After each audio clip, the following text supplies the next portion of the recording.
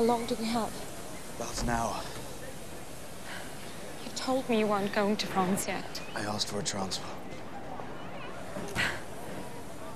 You're so eager to face death then, are you? No. Yes, you are. You must be.